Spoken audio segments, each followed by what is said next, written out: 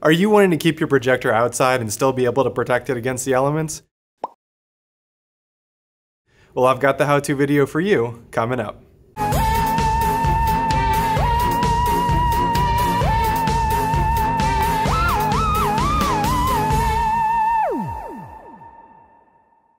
Hey, this is Zach with Toil and Trouble's DIY. If you've been following the channel the past couple of years, you'll probably have noticed a video that I made where I detailed my weatherproof projector housing gravestone concept. But that video wasn't much of an instructional guide on how to make one of your own, so I decided to take another crack at it. In this video, I'm gonna give you a how-to guide from beginning to end, and I'll be adding a few new items to this version that'll really take it over the top. So let's jump into the build. The measurements for this projector housing were based off of the size of a couple of different home cinema projectors that I had on hand, so this housing will fit a wide variety of projectors. However, feel free to scale up or down depending on the size of your projector. So taking a look at the measurements for this projector housing, the base is 24 inches long by 18 inches wide and 6 inches high. The top is 20 inches long, 14 inches wide, 7 inches high on the high end, and 5 and 3 quarters inches high on the low end. And the lid is 20 inches long by 14 and a half inches wide. Taking a look at the cut list, for the base, you'll need to cut two sections of 1 by 6 to 16 and 1 half inches long. You'll need to cut two more sections of 1 by 6 to 24 inches long, and you'll need to cut a piece of 1 half inch plywood to 18 inches wide by 24 inches long. For the top, you'll need to cut one section of 1 by 8 to 20 inches long, one section of 1 by 6 to 20 inches long, and two sections of 1 by 8 to 12 and a half inches long.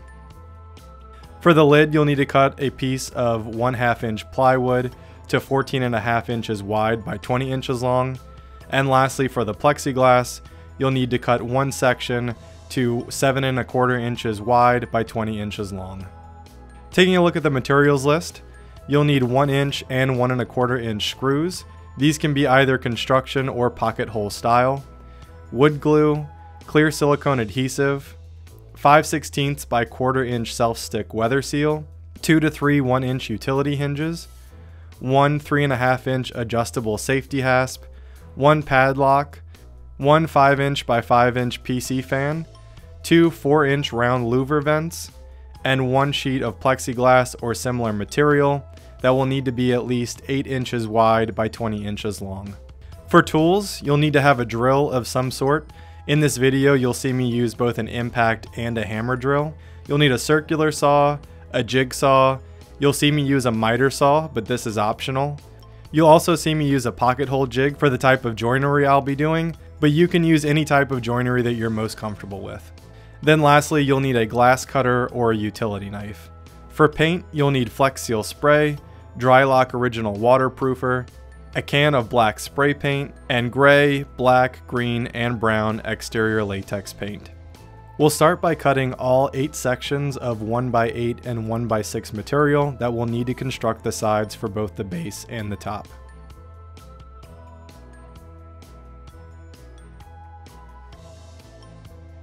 Once you're finished making your cuts for the base, you should have two pieces of 1x6 cut to 16.5 inches long, and two additional pieces of 1x6 cut to 24 inches long.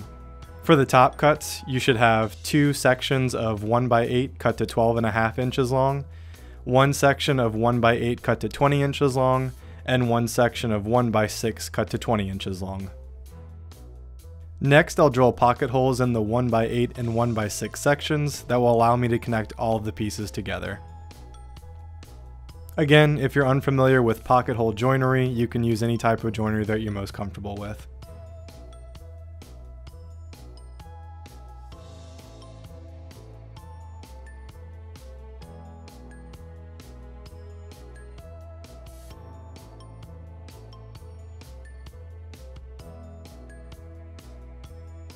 Once all of the pocket holes are drilled, I connect everything using pocket hole screws and wood glue.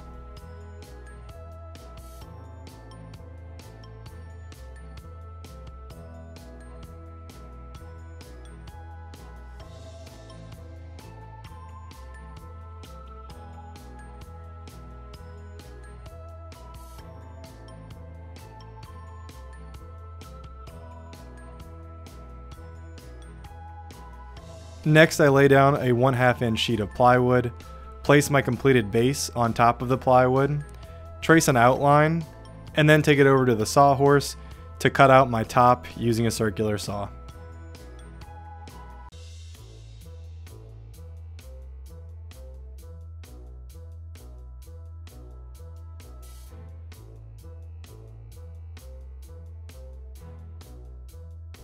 Once it's cut, I then add wood glue to the base.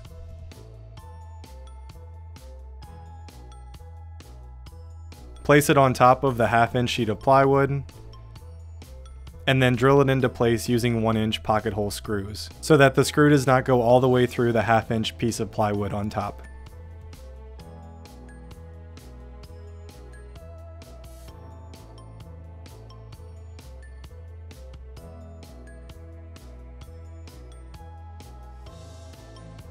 Next, I take the two pieces that make up the sides on the top. I mark out five and a half inches and then draw a line from that point to the top, which will create the angle at which we'll need to cut the side pieces.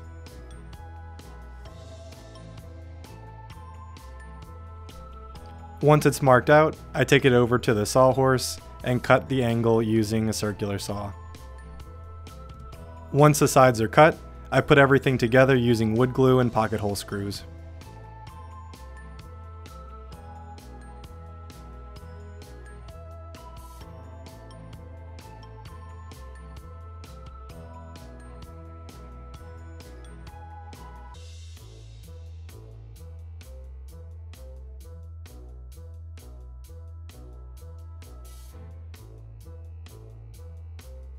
Before I attach the front piece of wood, I mark out a 1 inch section all the way around and use a cup to create rounded corners. Once cut, this will provide the window for the projector to shine through.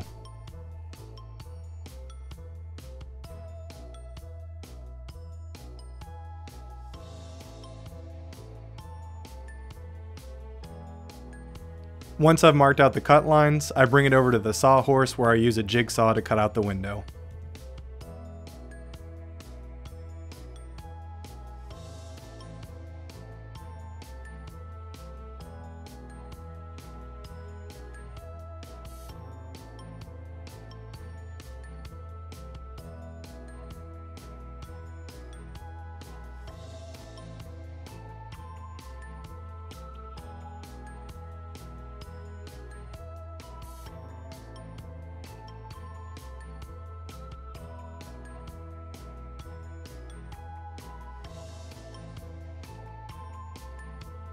After the window is cut into the front panel, I then connect everything using wood glue and pocket hole screws.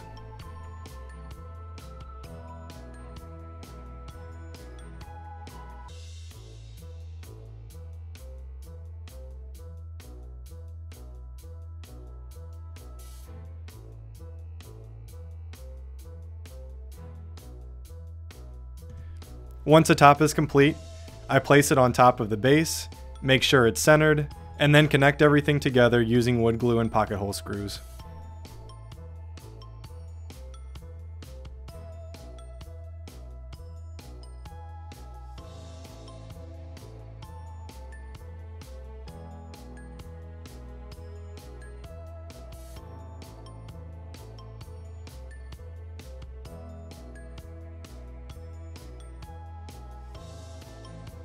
Once the top is joined to the base, I then place it onto another sheet of 1 2 inch thick plywood and trace out my cut line using the same method as before.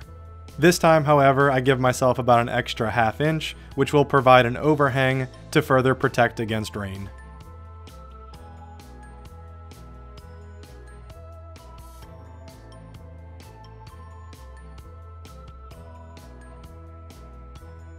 After the top has been cut, I then give everything a good sanding using a high grit sandpaper.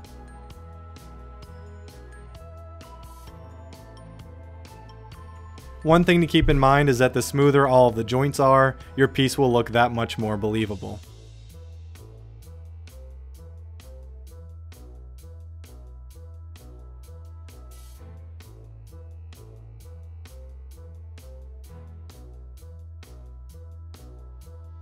Next, I take three 1-inch hinges and mark out where the holes will need to be drilled.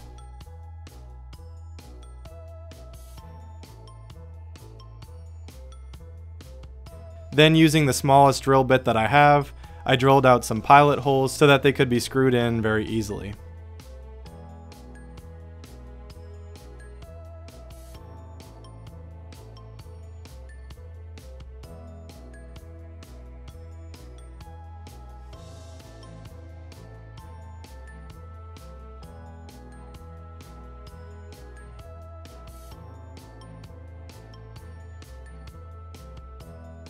I then repeat the process for the lid.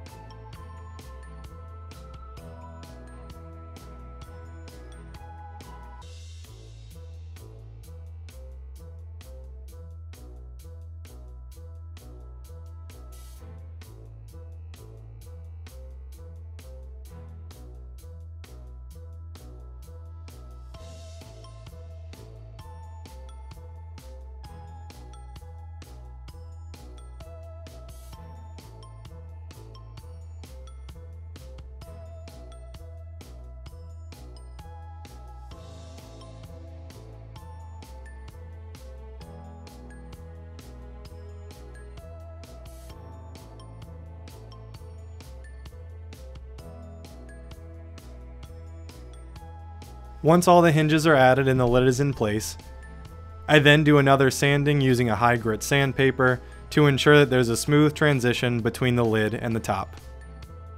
Next, I take two 4 inch louver vents and mark out where they need to go on both of the sides of the top.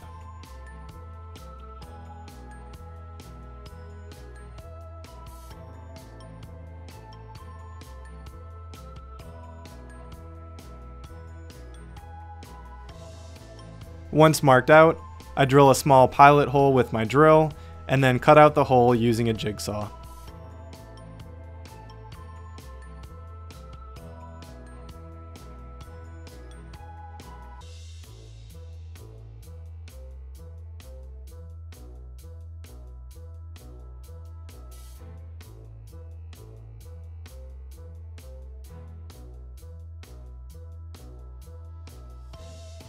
One thing to keep in mind is that you want to create this hole just large enough to provide a snug fit for the louver vent. I then repeat the same process on the opposite side.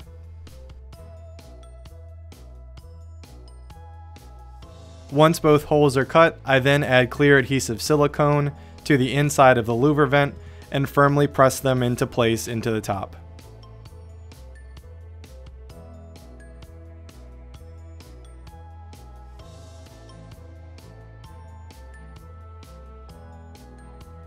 Next I take my pre-assembled PC fan and press the screws into the side to figure out where the hole for each screw needs to be drilled.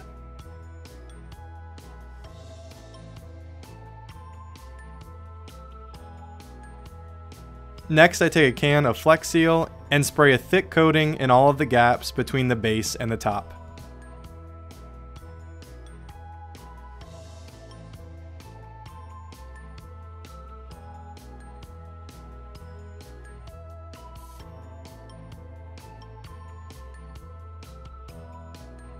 Once the Flex Seal is dry, I mark out and drill the holes that I will run my electrical cords through.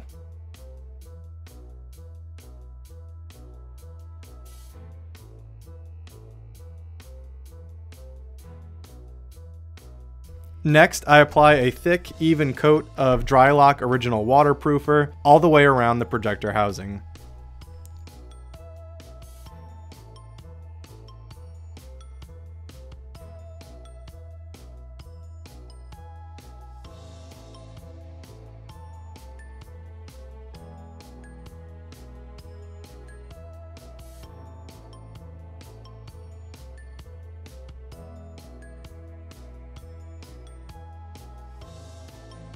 Next, I take a can of black spray paint and spray the entire inside of the projector housing to allow as little light to reflect inside of the housing as possible.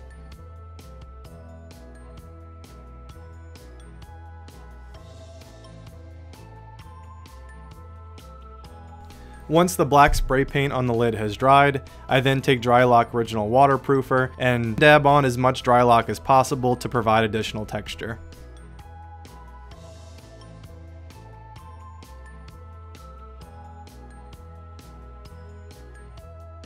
Once the lid has dried, I then reattach the hinges to the base and the lid.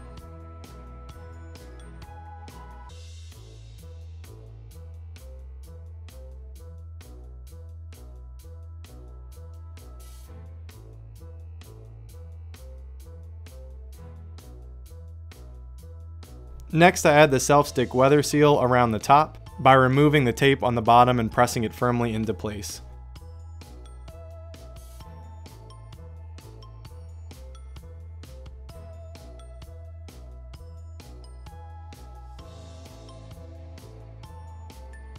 Once the weather seal is in place, I then add the safety hasp.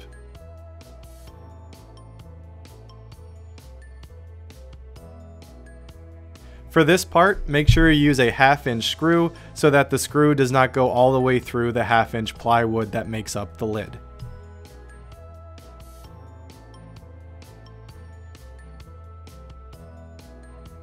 One thing to note here is that you should place the bottom part of the hasp as far down as possible to ensure a snug fit between the lid and the top.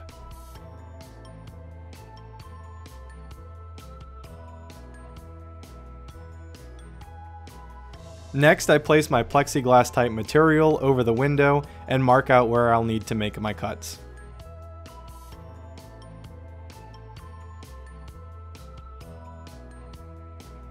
Using a straight edge and a glass cutter, I then slowly cut away at the plexiglass material in order to make my cut.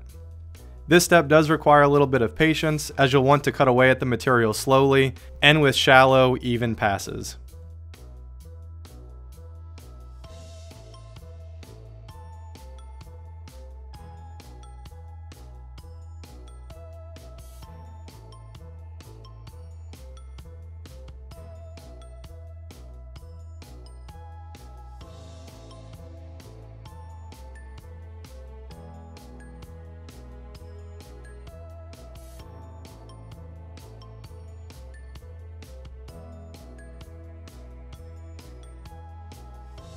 After the plexiglass material is cut out, I place a generous bead of clear silicone adhesive all the way around the window and then firmly place the plexiglass material into place.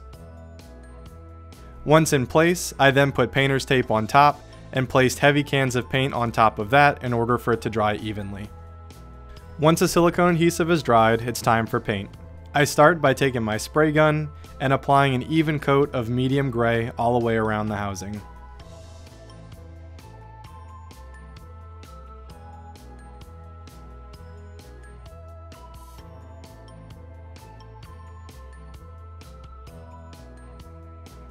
Once the base coat is dried, I then mix up a spray bottle of water, brown, black, and green paint, and then begin to spray it onto the projector housing. If you're ever unhappy with the color you're getting, you can always change up the ratio and add in additional colors to get a color that's more to your liking.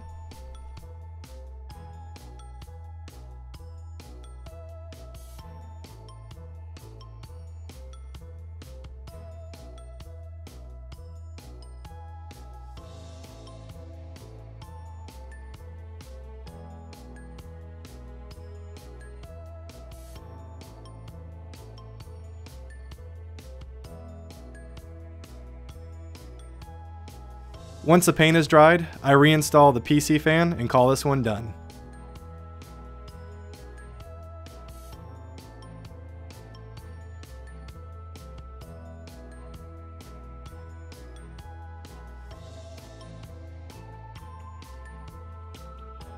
So I think it came out pretty awesome, but it looks like the lid could use a little something up top. Let me see if my friend Derek can help me out.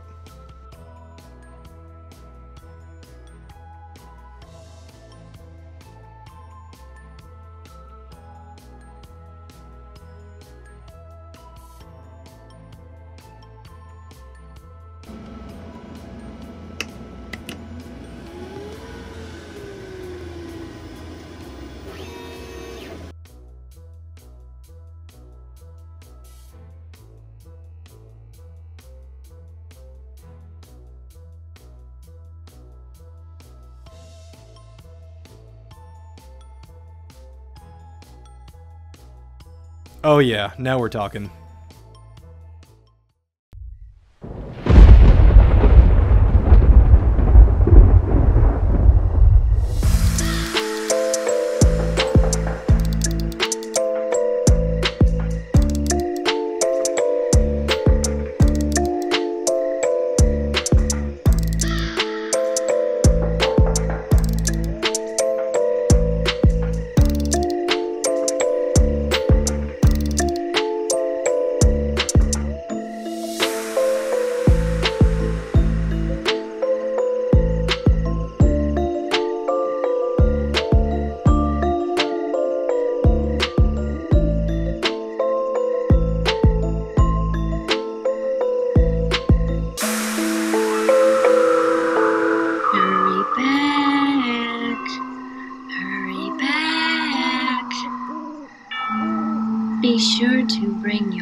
Death certificate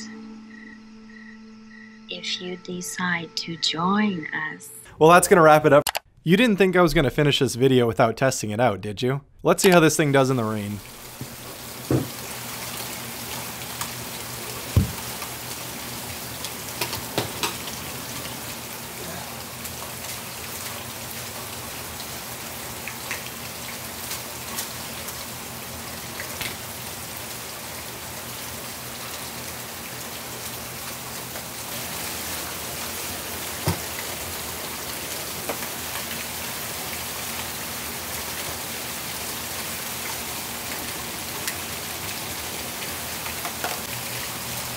Perfect. No water got in at all. Well, that's going to wrap it up for this episode. If you plan on making a projector housing gravestone of your very own, I would love to know in the comments below. If you found value in this how-to video, please go ahead and give it a thumbs up. I'm Zach with Toil and Trouble's DIY, and until next time, go make your own magic.